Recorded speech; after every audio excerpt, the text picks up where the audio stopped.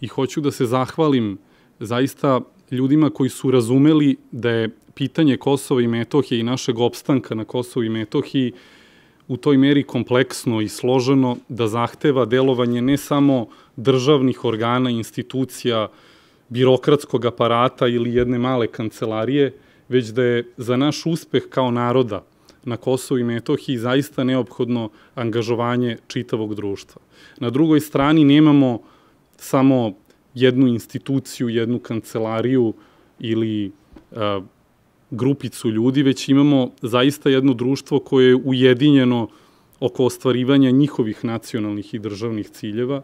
šta god mi o njihovim nacionalnim i državnim ciljevima mislili, mi naš opstanak i, da kažemo, i ove mlade generacije i svih koji drugih koji žive na Kosovu i Metohiji možemo da osiguramo samo ukoliko delujemo zaista sa nivoa čitavog društva, da, dakle daleko izvan granica samo državnih institucija. I potrebna nam je i pamet i znanje i organizacija uh, koja izlazi daleko izvan institucionalnih okvira. Zbog toga hoću da se zahvalim privrednicima koji su prepoznali značaj a, podrške mladim ljudima na Kosovu i Metohiji, razvoju biznisa pripadnika mlađih generacija na Kosovu i Metohiji i koji su takođe podržali one koji se bave a, jednim od najplemenitijih a, disciplina i veština, a to je lepa reč ili besedništvo, zato što, ne samo zato što, naravno, i kada je reč o najtežim izazovima važi ona izreka da lepa reč gvozdena vrata otvara, već zato što se u intelektualnom smislu na Kosovu i Metohiji suočavamo sa generacijom na drugoj strani hiljada obrazovanih i mladih e, ljudi koji se zalažu za izdvajanje Kosova i Metohije i sastava naše zemlje koji su školovani na prestižnim stranim univerzitetima i školama i svaki naš rečit mlad čovek, obrazovan mlad čovek, preduzetan mlad čovek je najdragoceniji mogući resurs naš kao države i kao naroda u očuvanju naših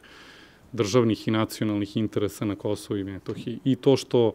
ovi mladi ljudi mogu da postignu, živeći sa svojim porodicama,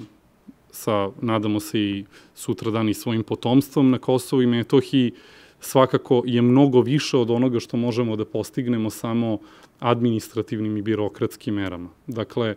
ovde danas imamo čast da ugostimo i da razgovaramo sa ljudima koji su zaista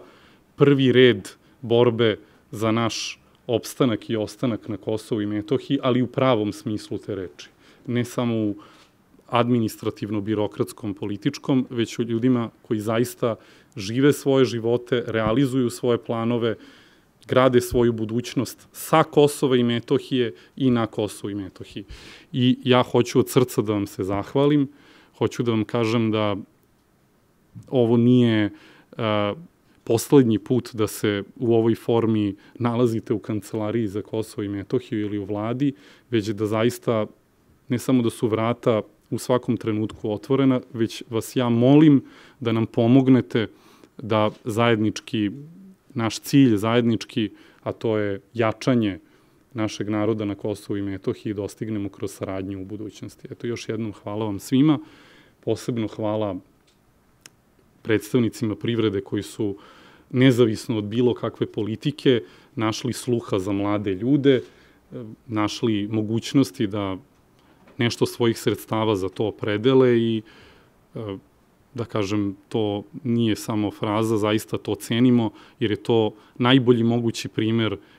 korporativne, kako se to moderno kaže, kompanijske društvene odgovornosti i na tome vam se zahvaljujem. I još jednom svima želim da u 2020. koja nam praktično već kuca na vrata, nastavimo sa ovom praksom, dakle da ovo bude jedan od početnih zamajaca ovaj, za slične aktivnosti um, dobrotvorne i karitativne u 2020. godini. Hvala vam.